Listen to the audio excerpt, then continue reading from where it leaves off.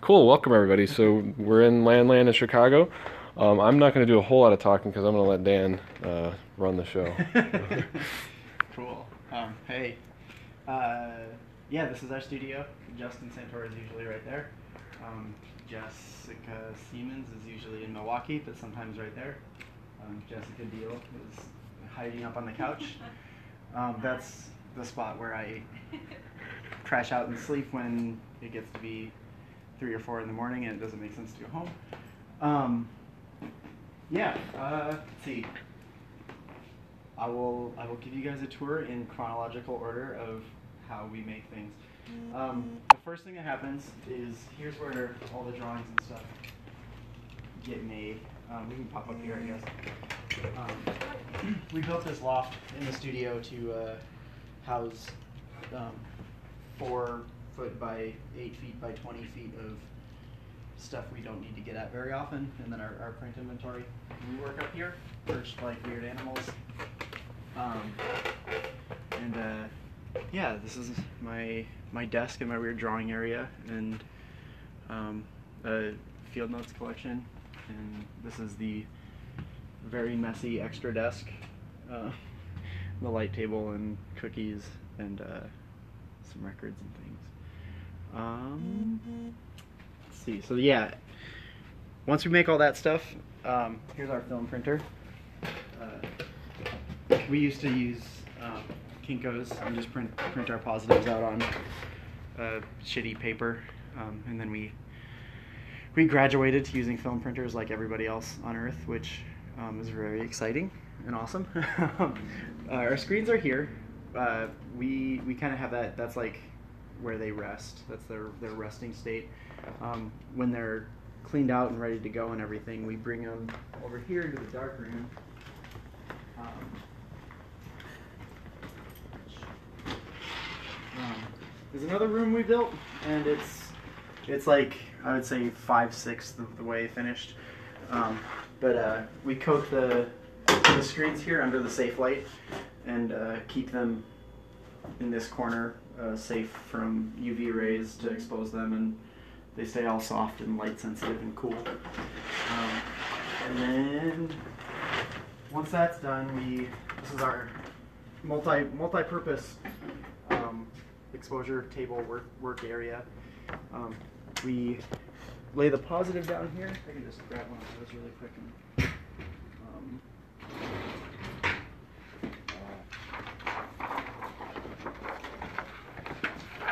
you know, you just set this down and then you set the screen on top and then weight it down with a whole bunch of uh, cinder blocks and things. And then when you turn that on, it exposes the screen.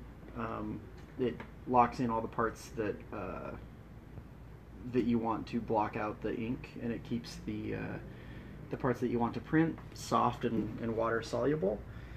Um, so then, once you've exposed it, um, you can take it over into the into our washout booth, um, which is over here. it's a lot of running back and forth. It, it gets chaotic when uh, we're all doing different parts of this. But um, we bring the screens in here and then wash out the water soluble parts and create our stencil that way. Um, everything that's been baked in by the light stays hard and um, and it won't uh, that doesn't degrade until we spray it with a bunch of chemicals after we're done printing. Um, from there, the screen, and I'll just uh, I'll grab one of these for demonstration. Um, the uh,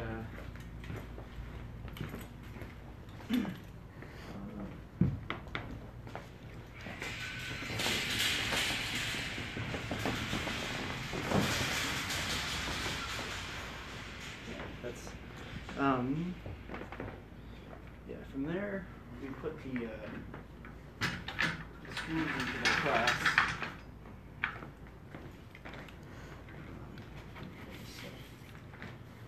Ever growing mountain of test prints. Um, and then once this is in here, we're able to, you know, re- register it to the, the paper and the, the press bed below. Um, tighten it in the clamps. There's there are.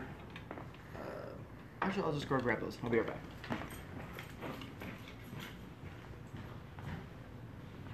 Hey, Alan. Let's see. I'll put these on, but I'll uh, take them back off to cycle this through and show you guys what, what that does. But this is a this is the flood bar, and this this guy's responsible for um, pulling the ink, the, the blob of ink that we lay down from for pulling that from the back of the screen all the way up to the front, so the entire thing is charged with ink. And then when the the squeegee comes by on the the downstroke, it uh, that that pushes everything through, I guess. So this is the squeegee, and it just um, uh, oh hold on. Um, and this just um, attaches here. You just like center everything on the screen, tighten all your stuff, um, and at this point you you know you get the screen wet and, and lay down your ink and everything. Um, I will. I'm gonna pull these down so I can cycle it through. If if I do it dry, it'll probably screw up the screen. Um,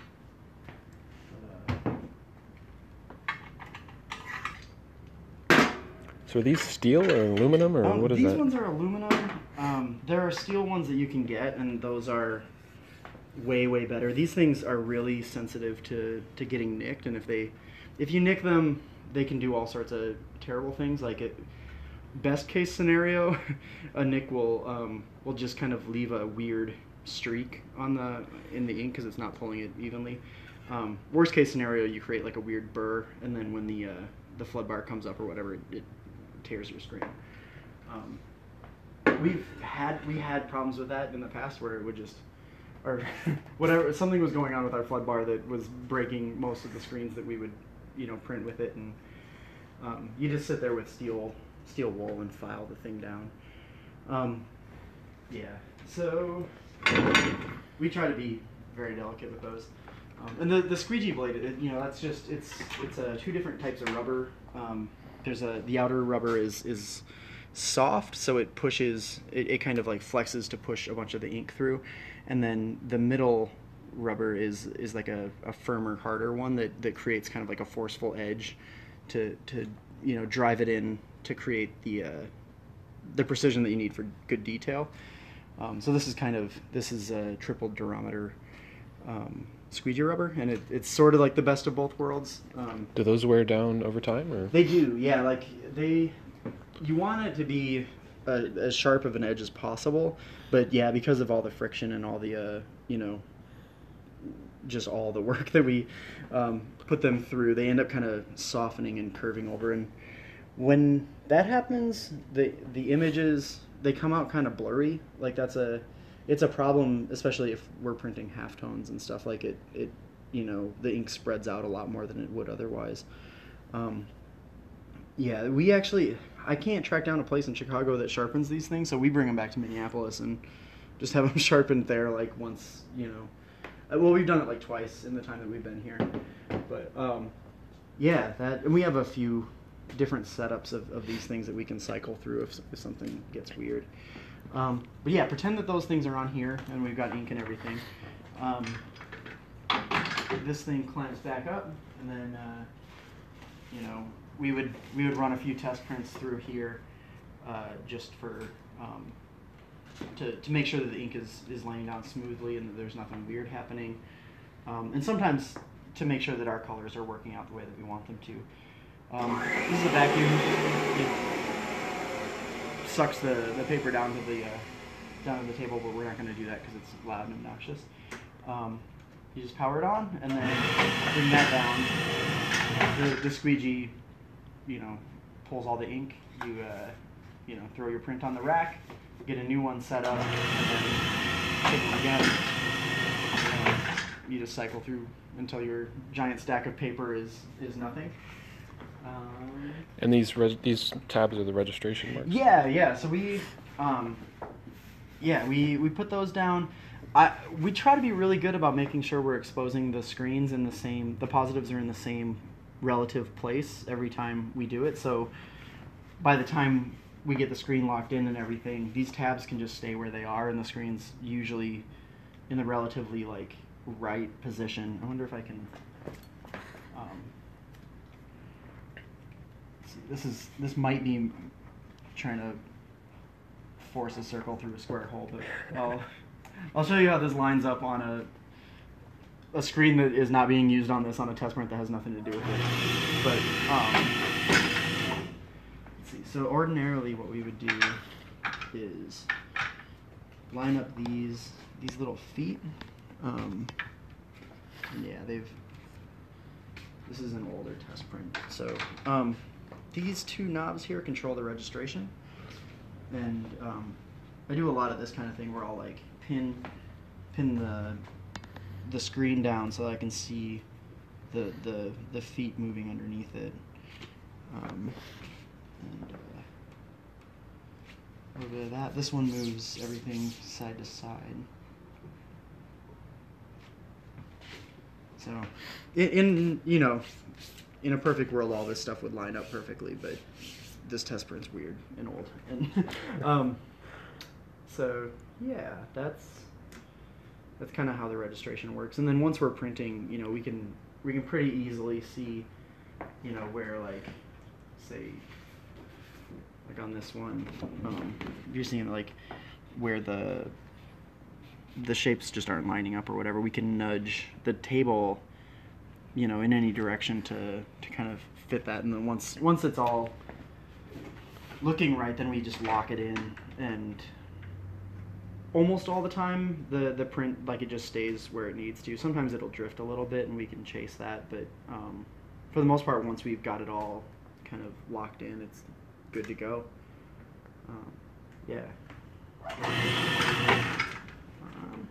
and so then say we printed or whatever then we bring we bring the screen and all the stuff back into the washout booth to clean it and reclaim it and, and everything and then the prints, the giant stack of prints. I'm trying to remember. It's hard to remember this stuff in order when I'm not just doing it. Um, that would all come back over here. Um, Jess conveniently has a stack of prints that needs to get cut.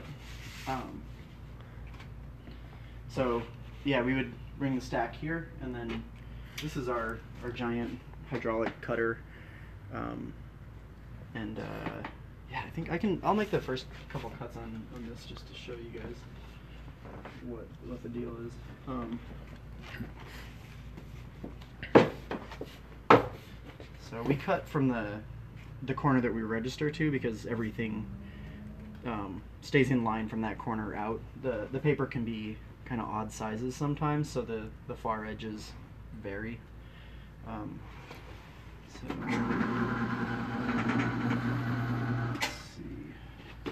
Um, how are we for time? Are we? It's a quarter till five. So we should be. We're Yeah. good. Yeah. The uh, the thing that um, is not evident is that the we have movers coming to, to deal with our apartment, and uh, they're supposed to show up at five thirty.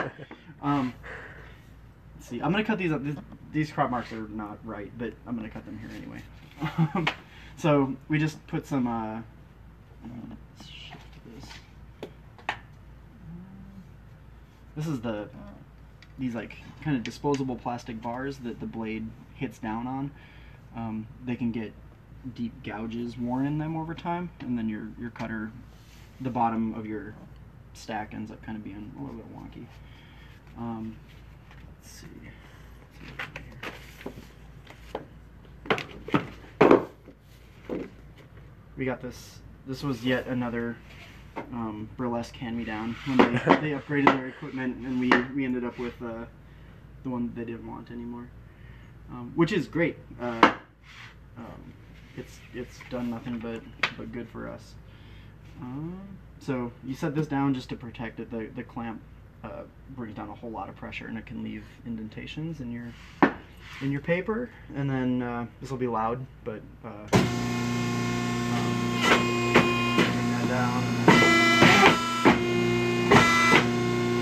that. Um, yeah, in in a perfect world, these crop marks would be cut in half, but um, that's not actually what I'm cutting this print to because it's set up weird.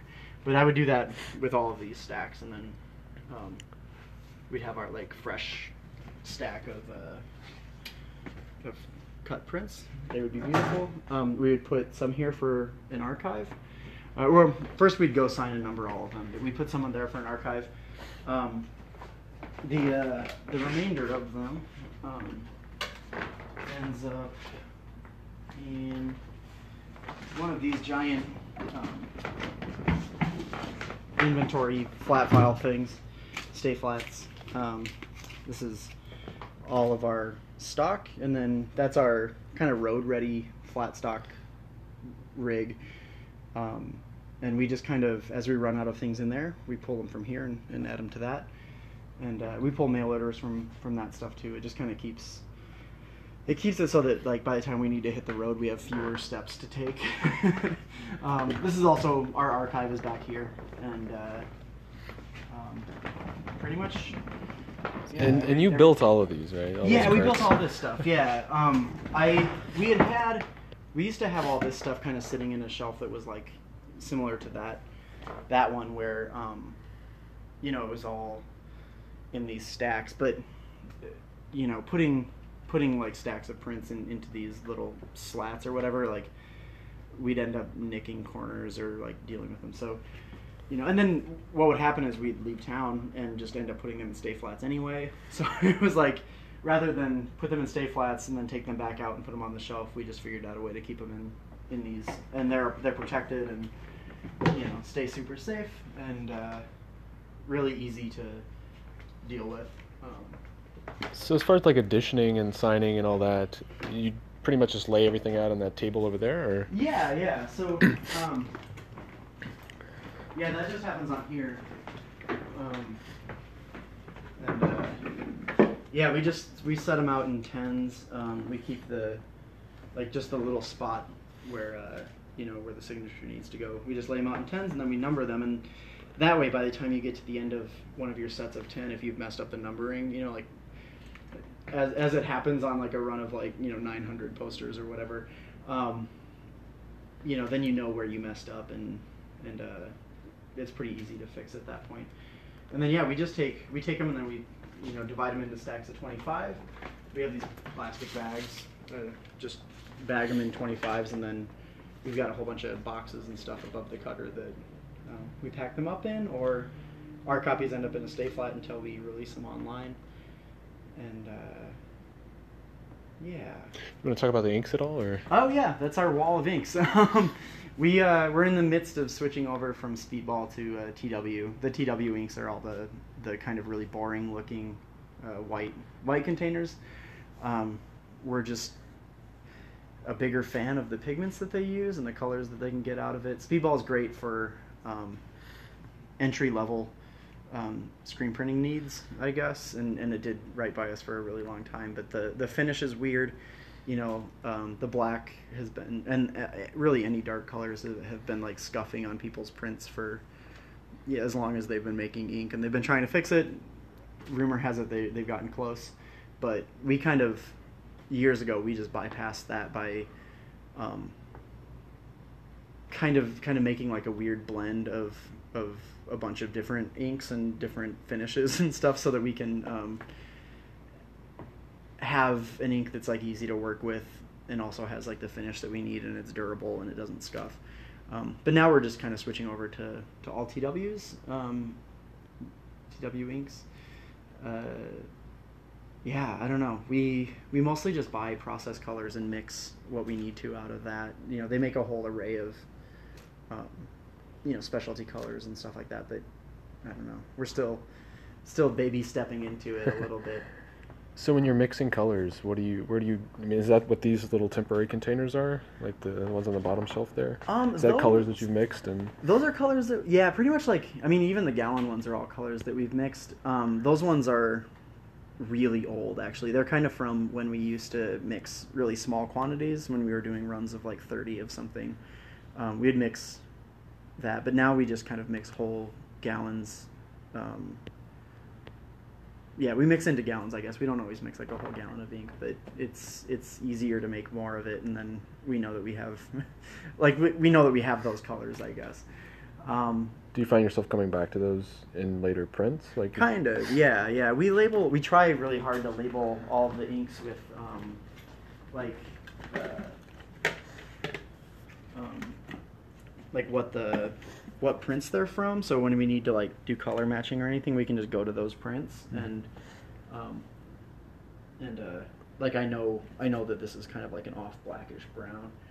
Um, we have some like this, like this kind of thing happens where it's like, um, you know, this was an ink that was used on an Alabama Shakes poster at one point in time. Um, it has, let's see,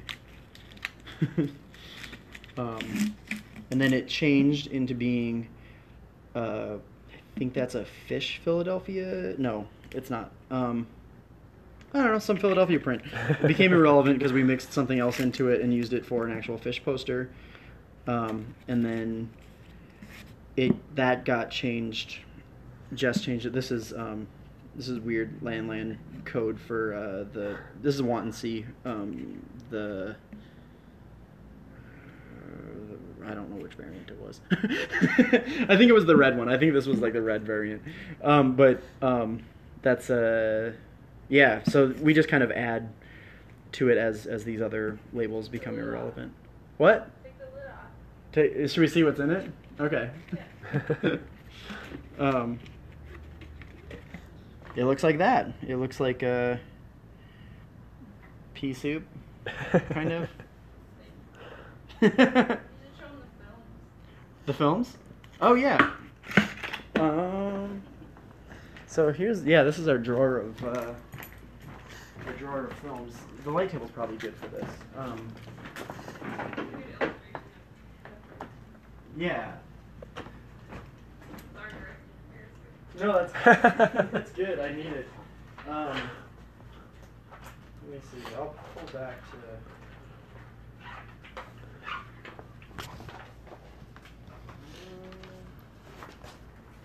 Oh, this will be good. I'll show you guys an example of something that doesn't make any sense at all. Um,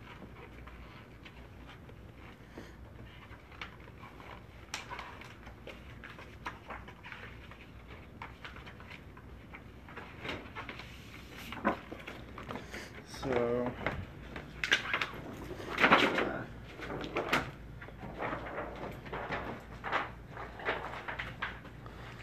Are all the films for Jess's uh, Gremlins print. Um, just ruining them. Um, so for these, I don't. Uh, they're kind of labeled with the order, but um, yeah. So Jess, you know, she starts with a key plate, um, and then these are all the the shapes, I guess, that that you know make up the spot colors. Um, I love that this is like my handwriting, and I have no no idea what that's referring to. um, but anyway, yeah. So this doesn't look like all of them are here, but you know these are the different uh, different layers.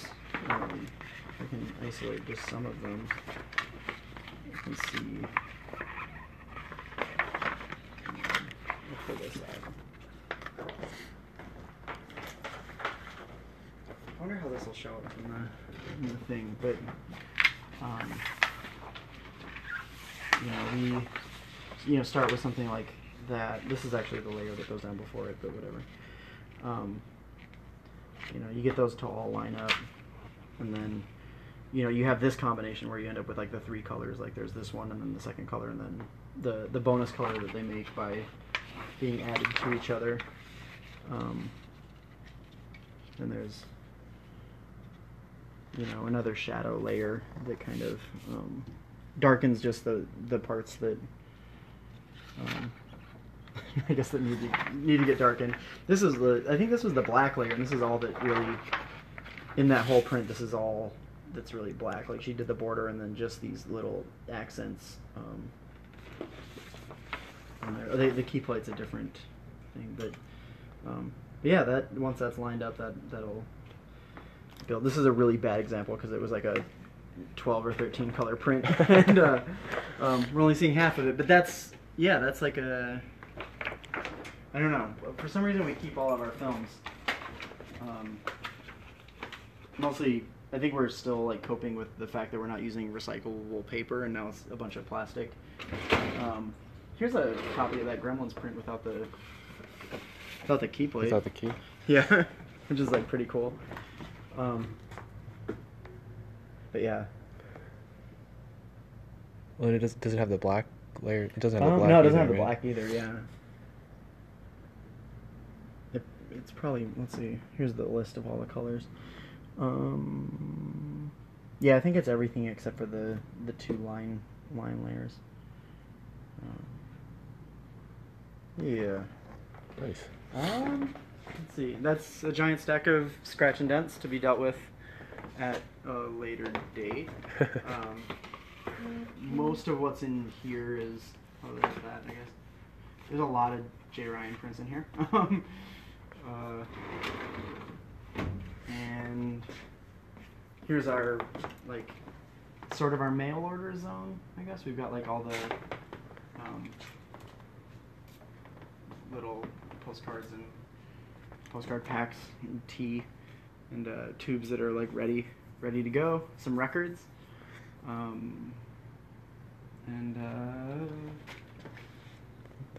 yeah um, what else what else is cool I think you cover everything. okay lots of storage There's the that, that cool couch up there is pretty. The- yeah, the couch is pretty awesome. Um, yeah, that was uh, that replaced the mattress that's up here, which I had like I, I I was living in here for a couple months after the apartment that I was in got struck by lightning seven times and caught fire. um, so so I couldn't live there anymore, and moved here for a little bit um, until Jessica came out. Uh, but yeah, that I don't know. That loft is awesome. It had, you know, we were hanging curtains off of the HVAC there, so that when Justin would come in in the morning, I could just stay sleeping and and uh, be undisturbed. Um, this is a this paper shelf actually came from Minneapolis. We that was one of the things that we loaded up on the truck.